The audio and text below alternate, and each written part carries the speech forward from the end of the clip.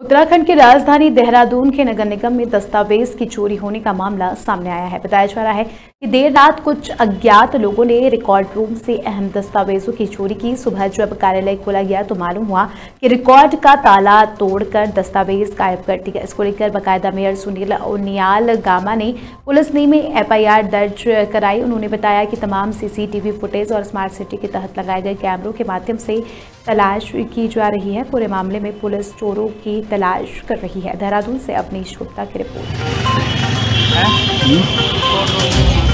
ये जो चोर ने खाली कागजों को ही टारगेट किया है, इसके लिए अधिकारियों को कहा गया है कि इसकी जाँच की जाए।